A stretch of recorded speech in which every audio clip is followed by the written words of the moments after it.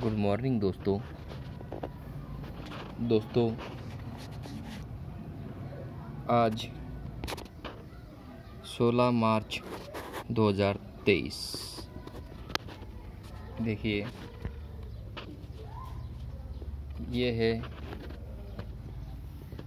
Adenium अब adenium में कौन से कौन से प्रकार आते हैं और कैसे रहते हैं? मैं उसके बारे में आज आपको बताना चाहता हूँ। ओबेसम अरेबिकम और रोजी वैरायटी एक क्या है? ये आपको मैं बताता हूँ, देखिए। ये जो है, ये है ओबेसम, जो कि सिंगल पेटल में आता है। और काफ़ी ज़बरदस्त फ्लावरिंग आती है इस पर भर भर के फूल मिलते हैं और काफ़ी खूबसूरत सा दिखता है। और इसका कोडेक्स भी अच्छा रहता है। उसकी वजह से ज़्यादातर लोग अडेनियम ओबेसम घर को रखते हैं। और इसी में और एक प्रकार है रोज़ी वैरायटी। ओबेसम रोज़ी वैरायटी के आते हैं। जिनमें काफ़ी अलग अलग रंग मिलते हैं, काफ़ी सुंदर से ऐसे दिखते हैं। देखिए, ये जो है, ये है रोज़ी वैरायटी के मेरे पास। ये भी सेम। ये ओबेसम सिंगल पेटल, जो कि इस कलर के इसमें फूल लगते हैं। और ये है रोज़ी वैरायटी के अडेनियम ओबेसम खूबसूरत से ऐसे कलर काफ़ी बहुत सारे रंगों में आते हैं रोज़ी वैरायटी में।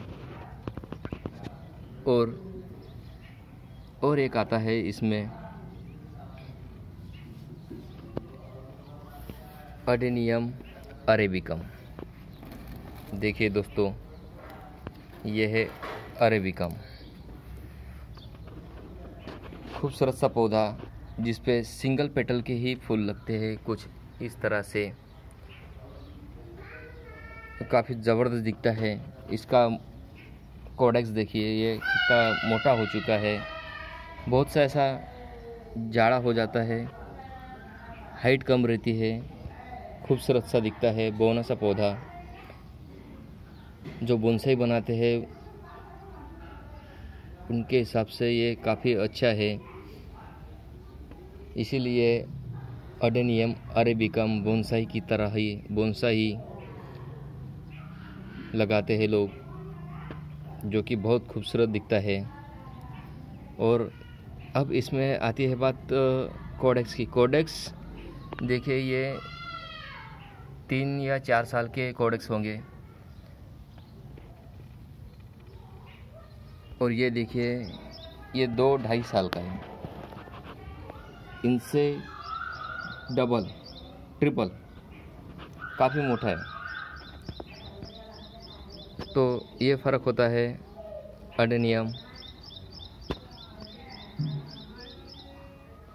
अरबी गम में, ओबेसम और रोज़ी वैरायटी में। तो धन्यवाद दोस्तों।